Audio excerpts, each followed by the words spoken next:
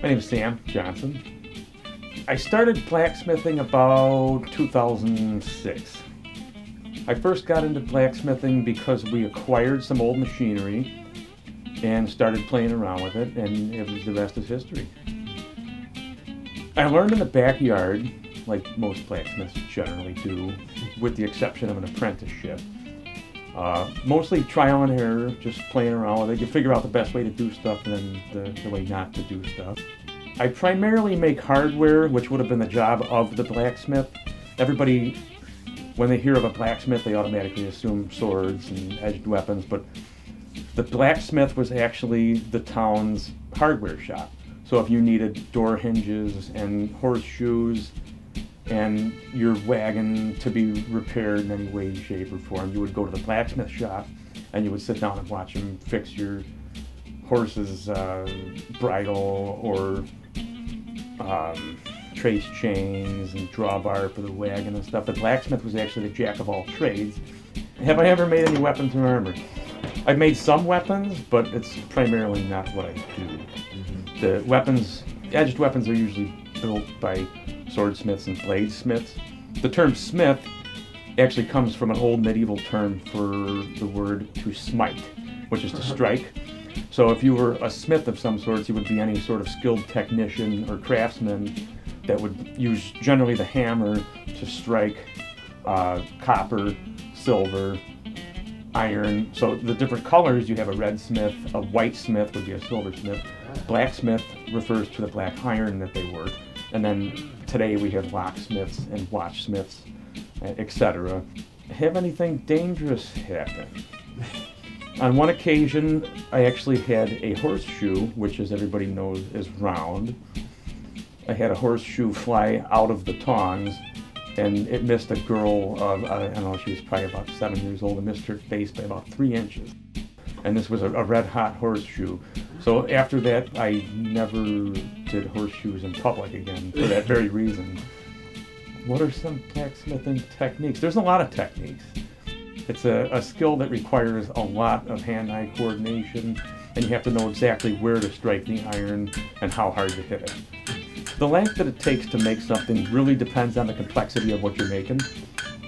Some things you could make a nail in about three to five minutes, but if you're doing a really large project like uh, a, a really complicated coat rack, for instance, would take anywhere between four four to seven hours.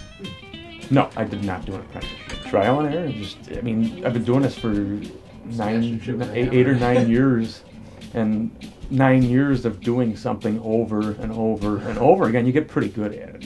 And I'm still nowhere near a master blacksmith. I, what I do is child's play compared to, you know, a real blacksmith. The difference, like I was telling you earlier, between a blacksmith and a metal bender, I'm just a metal bender. An actual blacksmith is uh, a metallurgical scientist who could take pieces of steel and by tapping them, you could judge the, the carbon content and you could temper them to make mild steel into tool steel and you could harden things, just do unbelievable things with steel.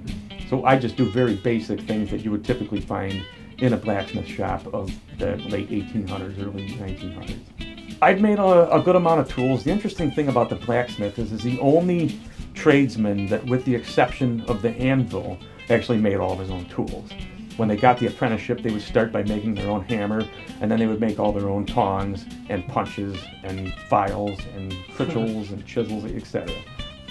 I generally sell the things I make at like uh, craft fairs and historical reenactments and that.